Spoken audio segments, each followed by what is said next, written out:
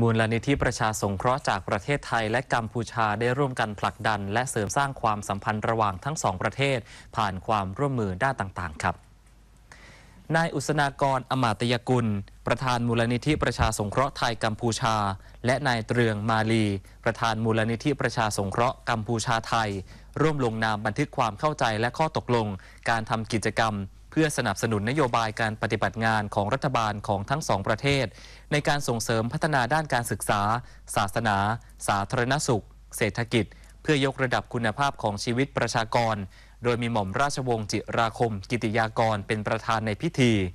สำหรับมูลนิธิประชาสงเคราะห์ไทยกัมพูชาก่อตั้งขึ้น เพื่อสนับสนุนความเข้าใจ และเสริมสร้างความสัมพันธ์ระหว่างไทยและกัมพูชา